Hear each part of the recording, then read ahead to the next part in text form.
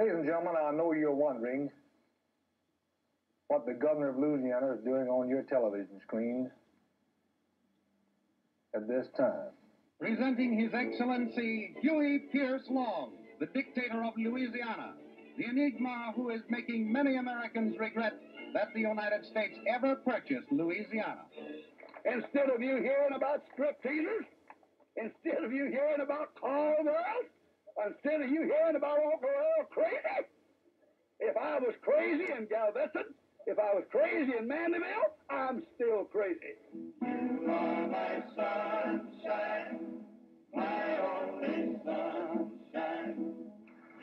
Is Louisiana politics really different? Yeah, I think that in Louisiana, uh, I think Mardi Gras and elections run hand in hand as the number one pastime. You know, I think Louisiana politics is the greatest in the nation myself. It's disgusting. It really is. So they're corrupt. so they're corrupt. uh, yes, sir.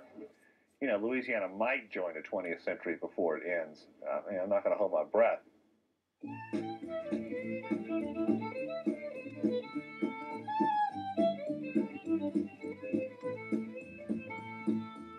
Louisiana boys, they're raised on politics down in the city and out in the sticks. Louisiana boys want to go all the way. They want to be governor someday. At 21, they head for law school after hours, perched high on a bar stool, studying hard the laws of their selection, planning for that future election. Back at home, they open up a practice, hanging shingles from bureaus to nactors, charging them fees fighting huge, cause what they crave is fighting Rouge. Louisiana boys get raised on politics down in the city and out in the sticks. Louisiana boys wanna go all the way, they wanna be governor someday. Take it now, political fingers.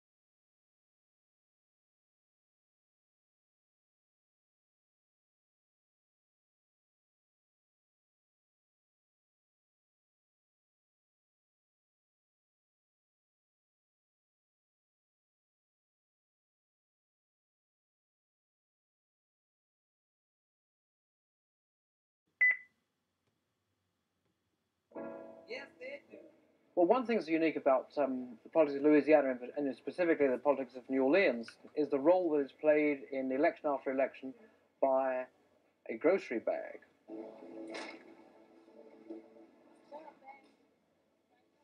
We have in, in uh, the New Orleans area a, a grocery chain called Schwegmann, which is known for um, selling high volume, relatively cheap groceries, and it's become something of a, a hero of the uh, people.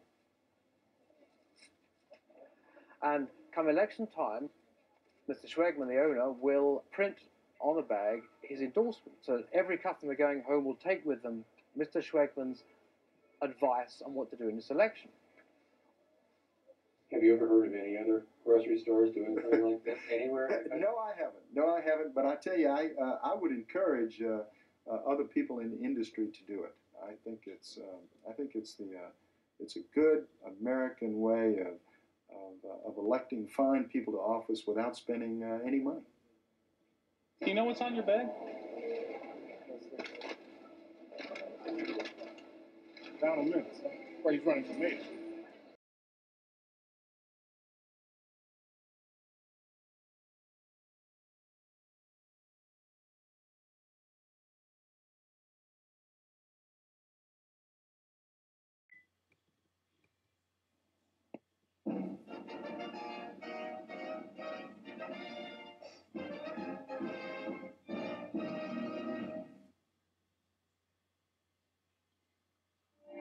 Starting in life in this ramshackle house, Long ranted and raved his way into the chief executive's chair of the sovereign state of Louisiana. How many men ever went to a barbecue and would let one man take off the table what's intended for nine tenths of the people to eat? The only way you'll ever be able to feed the balance of the people is to make that man come back and bring back some of that he ain't got no business. His career was a stormy, violent journey through the sometimes puzzling maze of political life. He was never without his bodyguards, confessing to friends that he fully expected to die at the hands of an assassin when his time was up. His feuds were monumental, like the time that the mayor of New Orleans crossed swords with the fiery governor. Voters at the city election had to be protected by the militia as a result of that one.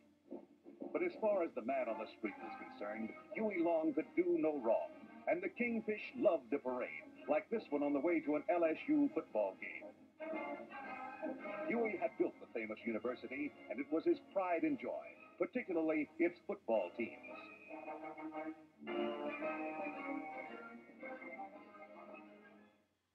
We've opened up night schools to educate the adult illiterate. We have paved the highways. We have built free bridges. We have built a new campus. We have taken the insane out of the jail cell and placed them in modern institutions. We have eliminated barbarism. We have shut down the lottery. We've closed up the gambling dock. We've abolished the vice ring. And now, the corporate element of this state that were cheap for Joe, hand in hand with them, who profited by who ransacked this state for the element of their allies, are being told what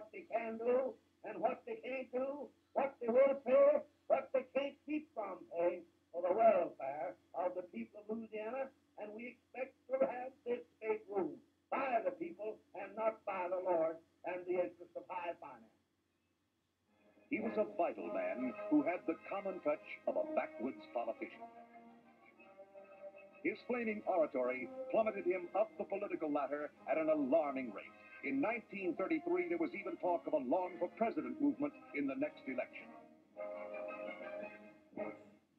His theme song, Every Man a King, became Louisiana's unofficial state anthem. Huey himself had a hand in writing it.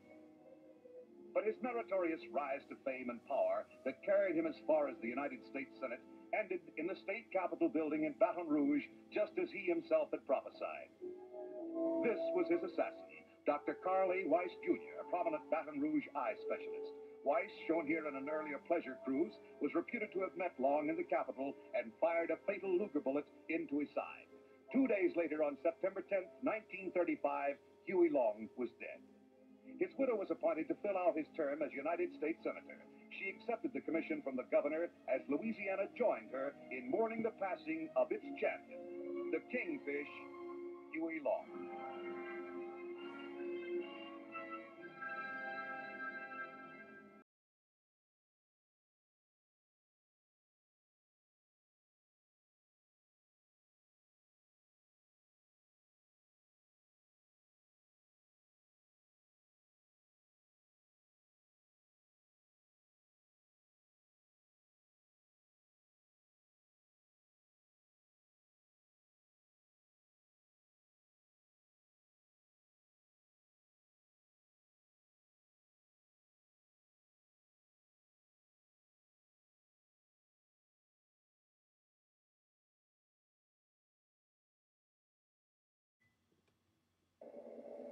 Every man a king. Fine. I want you to play it over these people. And if you like it, I want you to put it out. Every man a king, every man a king, for you can be a millionaire. But there's something belonging to others. There's enough for all people to share.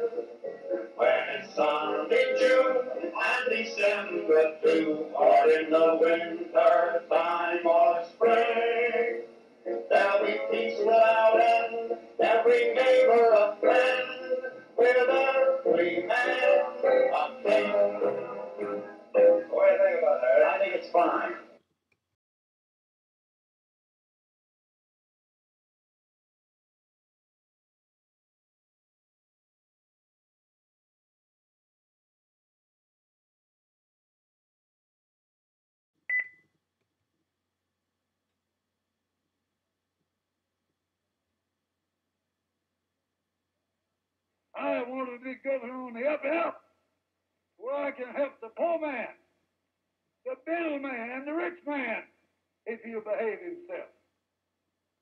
The legacy of Huey Long continued with his brother Earl.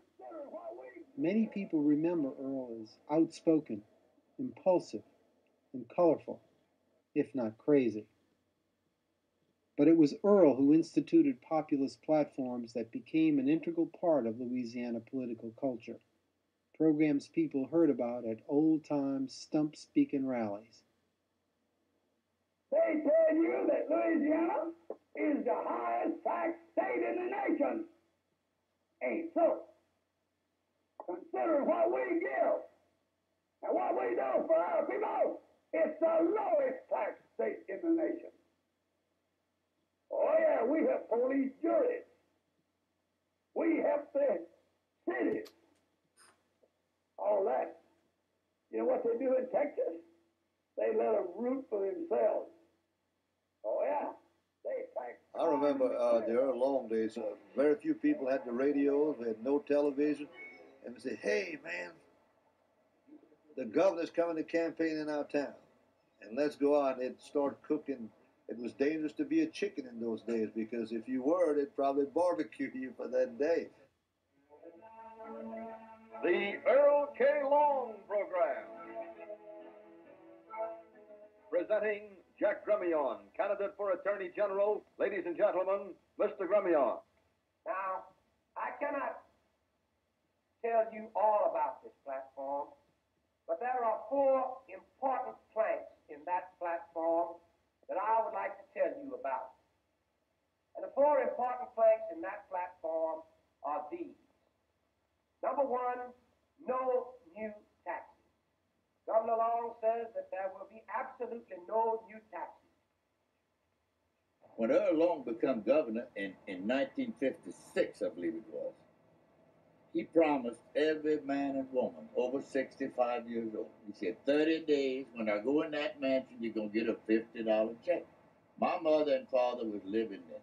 My mother died in my home about 10 years ago. She got a, a $50 She never was on the welfare. She got that $50 till she died. Uh, this was a state that people depended on politics uh, for the, a source of income, uh, for he- for health, for education. It was a true welfare state. And in a welfare state, when you depend on politics for your for your well-being, you have a great interest in politics. There's only two classes of people that can get first class hospital treatment. That's the poor poor and the rich rich. All right? Why, it's so high, ordinary man can't afford to be sick. So I guess that's where they practice that Christian science, you know.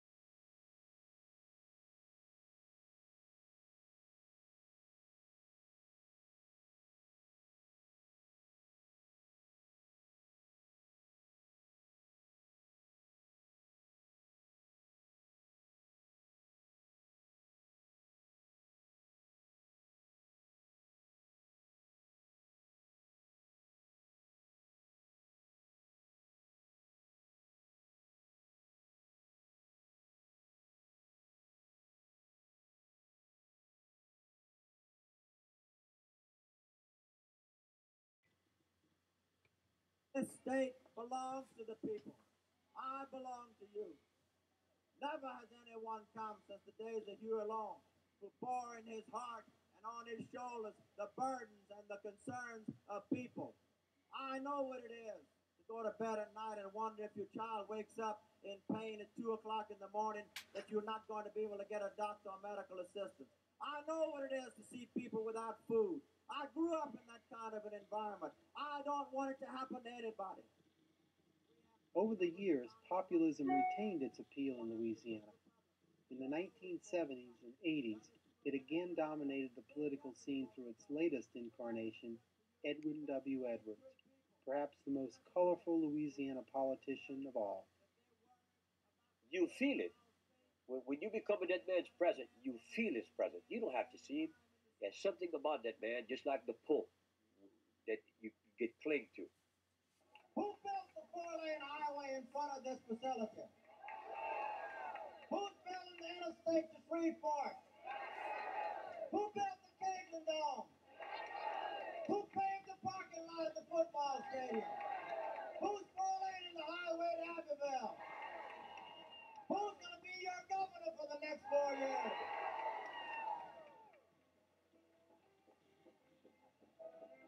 Edwards governed as an heir of the Longs.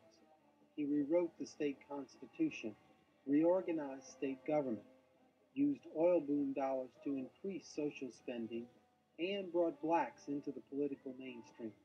And he was wildly popular. All right, darling, come on here. Don't you tell your boyfriend about this now. Merci beaucoup. Flamboyant, often outrageous, the target of numerous grand juries, Edwards loved gambling and women and was rather cavalier on the subject of public ethics. Well, I think that it's standard for people at my level in politics to be investigated by the Internal Revenue Service. It's just part of the job. The people out here have all heard the stories of his womanizing, of his gambling, of corruption. Why do they love Edwin Edwards? This guy looked at me and said, he doesn't drink or smoke.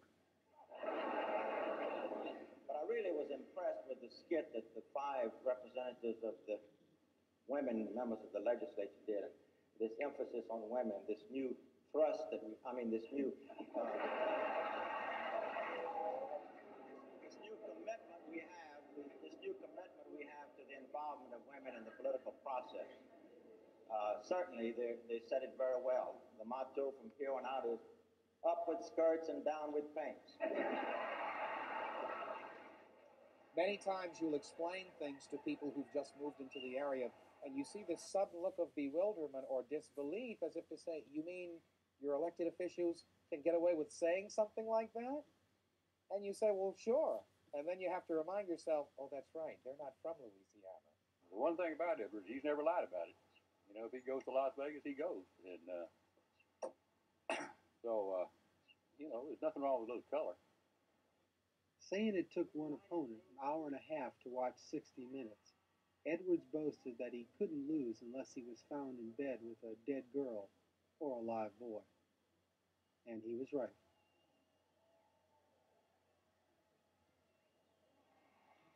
Populist in style, a powerful stump speaker, yet at ease with modern television campaigning, Edwards set the tone for politicians throughout the state. Who was the greatest politician you've seen in Louisiana during your lifetime? My lifetime, it would have to be every time I shave and look in the mirror, I see him.